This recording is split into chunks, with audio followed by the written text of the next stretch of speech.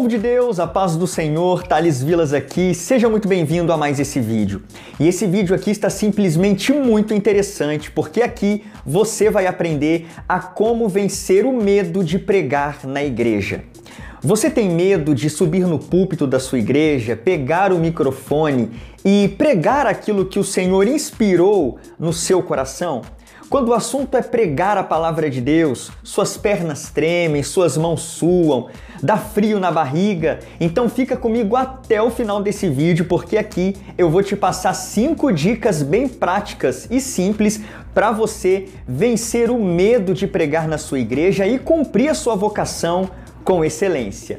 Já gostou do tema desse vídeo? Então me mostra isso deixando o seu gostei aqui logo abaixo e também se inscreva nesse canal. Assim você garante que os próximos vídeos, os próximos ensinamentos aparecerão para você. E claro, você vem fazer parte dessa comunidade de pregadores, pregadoras apaixonados pela palavra de Deus. Mas antes de irmos para o vídeo, me responde uma coisa. Você tem dificuldade de entender a palavra de Deus? Você já pegou a Bíblia para ler, mas parou porque não estava compreendendo o que estava escrito nela? Você tem o desejo de conhecer a Bíblia de Gênesis a Apocalipse de maneira fácil, didática e com uma linguagem simples? Então eu te convido a conhecer o meu curso Entenda a Bíblia de Gênesis a Apocalipse, onde você vai estudar diretamente comigo e eu vou te pegar pela mão e te ensinar passo a passo a palavra de Deus, começando em Gênesis e terminando em Apocalipse. Ficou interessado? Clica no primeiro link aqui da descrição e vai lá e faça a sua inscrição no meu curso. As vagas estão abertas e eu tenho certeza que você vai aprender a palavra do Senhor de uma maneira que você nunca imaginou. Garanta então a sua vaga. Sem mais demoras, então vamos para o vídeo e vamos aprender aqui a como vencer o medo de pregar na igreja. Vamos lá! E em primeiro lugar, uma primeira dica que bem prática e bem simples para você vencer o medo de falar na igreja, de pregar na igreja, é o seguinte: enfrente o seu medo.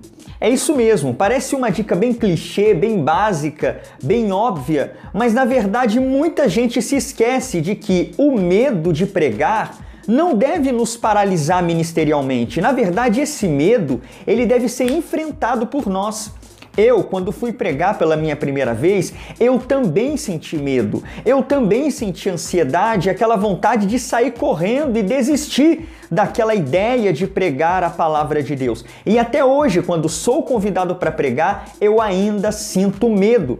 Só que qual é a diferença entre mim e você que talvez tenha sido paralisado pelo medo, eu decidi, eu tomei a decisão de não deixar o medo, nem a ansiedade, nem o nervosismo e muito menos o frio na barriga me paralisar. Eu vou cumprir a minha chamada apesar do medo. Então, para de permitir que esse medo fique bloqueando você. E eu sei que eu estou falando com pessoas que têm recusado oportunidades para dar uma saudação, para dar uma aula na escola dominical, para pregar a palavra de Deus simplesmente por causa do medo. Você tem conhecimento, você tem capacidade, você tem uma boa comunicação, mas é o medo que tem paralisado você. Então, a dica que eu dou para você aqui em primeiro lugar é você tomar a decisão a partir de agora de enfrentar esse medo. E você vai ver a diferença que essa atitude fará não apenas na sua vida, mas também na sua caminhada ministerial. Então não permita que o frio na barriga, não permita que as mãos suadas, não permita que as pernas trêmulas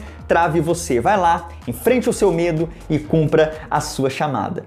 Tendo dito isso, então, vamos para a nossa segunda dica. E em segundo lugar, uma segunda dica bem prática para você que tem sido aí travado pelo medo, mas quer vencer esse medo e pregar a palavra de Deus na sua igreja, é a seguinte: tire o foco dos outros. É isso mesmo, muitas pessoas elas travam, elas sentem medo não do desconhecido que é falar em público, que é pregar a palavra de Deus. O medo dessas pessoas está na opinião dos outros, no que os outros vão achar, se as pessoas vão rir, se as pessoas vão zombar porque gaguejou, porque esqueceu. Inclusive, me conta aqui nos comentários, você tem tido medo da opinião dos outros? Coloca aqui nos comentários para mim, Thales, é realmente isso que me trava. Eu tenho medo do que os outros vão dizer a meu respeito. Conta aqui nos comentários porque eu já senti isso e eu quero saber quem compartilha desse sentimento comigo. Então, muitas vezes o medo que nos paralisa é o medo da opinião alheia e você não pode deixar com que esse medo paralise você. Lembre-se de uma coisa: só o fato de você estar subindo no púlpito e assumindo a posição de pregador da noite, de pregadora da manhã, da tarde com Deus, eu não sei quando você vai pregar, já te coloca na frente da maioria. Independente se vai te dar um branco, se você vai gaguejar, se você não vai falar bem, e daí é sua primeira vez. Você vai ter muito tempo ainda para se aperfeiçoar. E outra coisa, pelo menos você teve coragem de assumir a sua chamada e pregar a palavra. Diferente dos críticos que possam rir de você, que nunca aceitaram uma oportunidade, que nunca saíram da zona de conforto. Então, para de ligar para a opinião dos outros e pense o seguinte: pelo menos eu estou tendo a coragem de assumir a minha chamada e de me deixar ser usado e ser usada por Deus, ok? E lembre-se de uma outra coisa: a gente fica muitas vezes preocupado, ah, porque eu vou tremer, eu vou gaguejar e vão perceber. E às vezes as pessoas nem percebem, é simplesmente paranoia da nossa cabeça. Você sabia disso? Então troque essa mentalidade de preocupação com a opinião dos outros por essa mentalidade que eu estou passando para você. Primeiro, se as pessoas zombarem de mim, não tem problema, pelo menos eu estou tendo a coragem de assumir a minha chamada.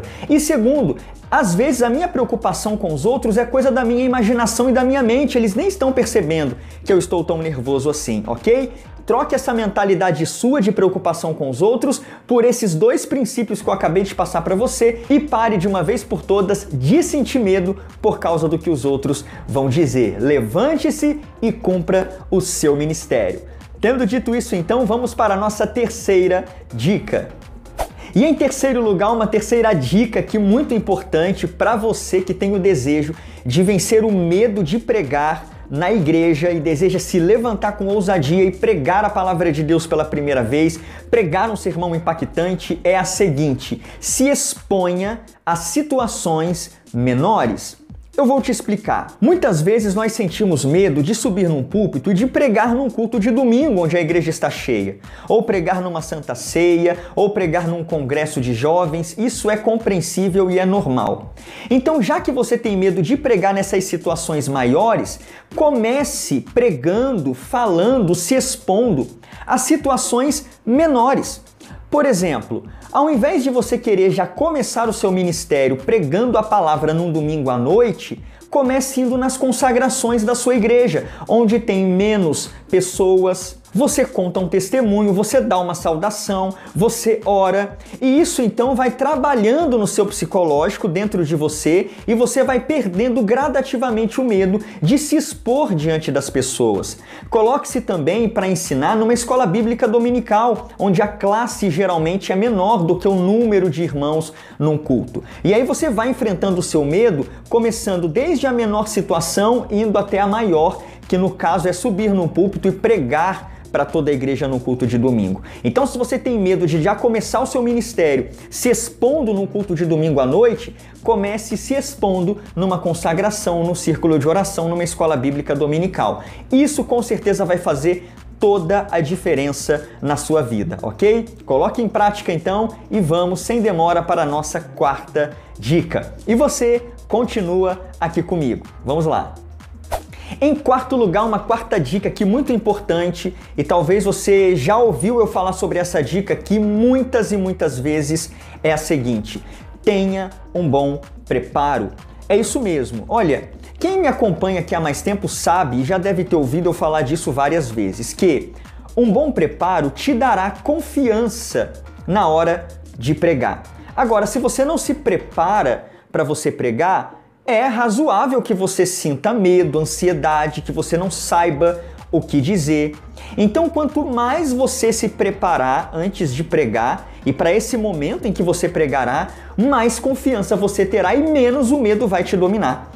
Então, um modo de você vencer esse medo de pregar na sua igreja, de falar na sua igreja, de dar uma saudação na sua igreja, é você se preparando bem, é você montando um bom esboço, estudando bem o texto, treinando a sua pregação, sabe, diante do espelho, dentro do seu escritório, do seu quarto, antes de proferi-la em cima do púlpito, corrigindo falhas de comunicação antes de subir no púlpito. Isso aí vai fazer toda a diferença para você, pode ter certeza, tá? Então, bom preparo é a solução para uma grande porcentagem desse medo que você está sentindo, porque quando temos domínio do assunto, nós nos comunicamos com muito mais confiança e falamos com muito mais liberdade. Então, se você quer vencer o medo de pregar na igreja, não economize tempo no preparo da sua pregação. Dedique dias, horas, revise o texto, faça um bom esboço, isso fará toda a diferença no momento da sua pregação. Tendo dito isso, então, vamos para a nossa quinta e última dica. E em quinto lugar, uma quinta maneira de você vencer o seu medo de pregar na igreja, de se levantar e assumir a sua chamada, é a seguinte: pense nos benefícios de pregar. Olha, Muitas pessoas só pensam nos malefícios de pregar a palavra. Ah, eu vou me expor, eu vou errar, vão zombar de mim, vão rir da minha cara, ah, porque eu não sei me comunicar, mas se esquecem de pensar nos benefícios que é pregar a palavra de Deus. Primeiro, você vai estar cumprindo a sua chamada, dando um pontapé inicial no seu ministério. Segundo, sua autoestima vai aumentar, porque você enfrentou um grande medo da humanidade, que é o medo de falar em público. Isso vai te dar mais confiança, mais autoestima, vai mostrar que você realmente é capaz de vencer as suas limitações. Terceiro, você vai abençoar a igreja com aquilo que o Senhor colocou no seu coração, com o ensino que o Senhor te deu, com a palavra que o Senhor inspirou seu coração. Quarto, você vai ver almas se convertendo a Cristo como Salvador, que é um privilégio maior do que esse, do que você pregar, mesmo com as suas limitações, e ver o Espírito Santo atuando em corações e trazendo pecadores ao arrependimento. E por fim, um outro benefício, você vai inspirar outros a também cumprirem a sua chamada. Talvez você nunca vá saber disso, mas o fato de você subir no púlpito e pregar vai animar muitos irmãos da sua igreja a também assumirem a sua chamada e vencerem seus medos. Eles vão pensar assim: puxa vida, se o irmão Fulano de Tal, se o irmão Thales, sendo tímido, sendo introvertido, subiu no púlpito e pregou, eu também vou assumir a minha chamada e vou pregar porque ele me inspirou. Então pense nos benefícios que é pregar a palavra de Deus e deixe esses benefícios sufocarem o seu medo e tudo que quer te paralisar de cumprir a sua chamada, ok? Então toda vez que o medo tentar paralisar você de pregar a palavra de Deus, pense nos benefícios que tudo isso trará para sua vida, para sua chamada e para sua igreja. Então é isso, povo de Deus. Esse aqui foi o nosso vídeo de hoje e essas foram as nossas cinco dicas muito simples e práticas para você vencer o medo de pregar a palavra na sua igreja. Você gostou desse vídeo? Esse vídeo abençoou você? Então é a hora de você me mostrar isso, deixando o seu gostei aqui logo abaixo e também se inscrevendo no canal. Clica no botão vermelho aqui logo abaixo, é gratuito e vem fazer parte dessa comunidade de pregadores e pregadoras da palavra de Deus. E se você tem o desejo de entender a palavra de Deus de Gênesis a Apocalipse de uma maneira simples, didática, fácil, sem aquela linguagem teológica difícil, e tendo a mim como seu professor, clica no primeiro link aqui da descrição e conheça o meu curso Entenda a Bíblia de Gênesis a Apocalipse, um curso que com certeza vai revolucionar o seu entendimento bíblico, ok? Estou te esperando na área de alunos. E para você que chegou até aqui, eu vou deixar aqui para você o meu vídeo de ontem,